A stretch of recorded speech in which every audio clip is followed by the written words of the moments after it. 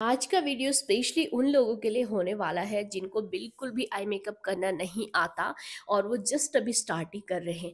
आपने कभी भी आई शेडो पैलेट परचेज की होगी ना, आपने देखा होगा कि इस तरीके का एक एप्लीकेटर हर पैलेट में आता है जो कि कलर अप्लाई करने के लिए दिया होता है। तो इसी एप्लीकेटर से आज मैं आपको आई मेकअप करना सिखाऊँगी। सबसे पहले हम आई के कॉर्नर पर टेप लगा देंगे, कुछ इस तरीके से एंड कई लोग पूछते हैं कि हम कौन सा टेप लगाएँ? तो हम या तो सेलो टेप लगा सकते हैं या फिर ये पेपर टेप लगा सकते हैं, क्योंकि इसमें ज़्यादा ग्लू नहीं होता और ये स्किन को हार्म नहीं करता है।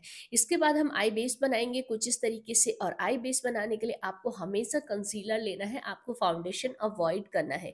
एक छोटे ब्यूटी ब्लेंडर की हेल्प से हम इसको ब्लेंड कर देंगे, एंड इसके बाद हमारा मेन काम स्टार्ट हो जाएगा।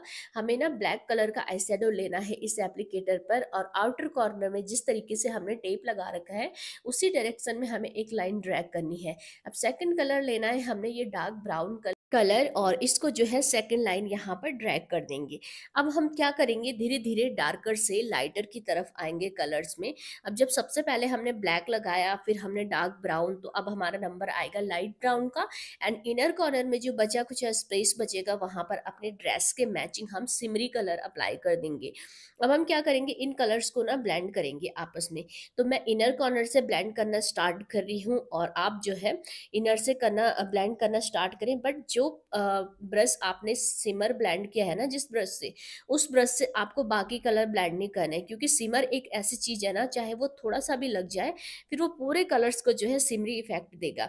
एंड ब्लैक कलर को आपको काफ़ी पेशेंसली ब्लेंड करना है, क्योंकि ब्लेंड करते करते कई बार क्या हो जाता है कि ब्लैक कलर ना पूरा फैल जाता है। तो जब हमने यहाँ पर चार कलर अप्लाई किए हैं तो हमारी ब्लेंडिंग इतनी अच्छी होनी चाहिए कि ये चारों के चारों कलर हमें विजिबल होने चाहिए। विजिबल होने का मतलब क्या है? कि ब्लेंडेड लुक होना चाहिए एंड ये चार इफ़ेक्ट आने चाहिए यहाँ पर। तो ब्लेंडिंग आपकी जितनी अच्छी होगी आई मेकअप आपका उतना ही अच्छा और प्यारा लगता है। तो कुछ इस तरीके से हमने यहाँ पर इसको ब्लेंड किया। अब इसके बाहर की जो हार्श लाइन है ना, उसको भी ब्लेंड करना होता है हमें। क्योंकि मुझे ऐसे प्रॉपर ये हार्श लाइन वाले आई मेकअप बिल्कुल पसंद नहीं होते हैं और कई लोग ऐसे होते हैं कि जो ऐसे ही आई मेकअप ज़्यादा करते हैं।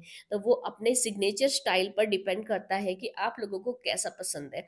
अब हम इस टेप को रिमूव कर देंगे और टेप को रिमूव करने के बाद यहाँ पर ना एक लाइन क्रिएट हो जाएगी। तो इस लाइन को हम क्या करेंगे? आई से कवर करेंगे। अभी ये काफ़ी अनिवन लग रहा होगा ना आपको। लेकिन जैसे आप फेस का बेस बनाओगे और आई मेकअप को कंप्लीट करोगे तो यही लुक इतना प्रिटी लगेगा कि आप इसको ज़रूर से अचीव करना चाहोगे। जिन लोगों को लाइनर लगाने में प्रॉब्लम होती है, वो लोग जो है स्केच लाइनर से प्रैक्टिस कर सकते हैं। और सेल्फ मेकअप जो लोग करना चाहते हैं तो एक बार अगर आपकी खुद की आइज़ पर अपना हाथ सेट हो गया, तब आपको कोई दिक्कत नहीं होती। आप जो है हमेशा अच्छा लाइनर लगा सकते हो। तो मैं यहाँ पर थोड़ा सा कंसीलर लगाऊँगी ताकि जो है यहाँ पर कलर अनइवन ना लगे एंड इसको जो है एक छोटे ब्यूटी ब्लैंडर की हेल्प से ब्लैंड कर देंगे। अब हम आईब्रोज को फिल करेंगे, एक लाइट ब्राउन कलर से एंड ये फॉर एवर फिफ्टी टू की पेंसिल है, और कई लोग पूछते हैं कमेंट करके कि क्या हम ब्लैक आईब्रोज को ब्राउन कर सकते हैं? तो मेकअप के थ्रू हम बिल्कुल कर सकते हैं।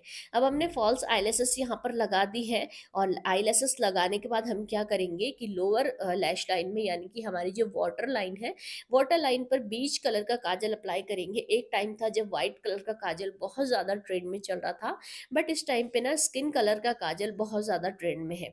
लोअर लैसेस को भी मस्कारा अप्लाई करेंगे कुछ इस तरीके से। एंड काजल लगाते ही हमारा जो लुक है ना, वो बहुत ही प्रीटी लगेगा।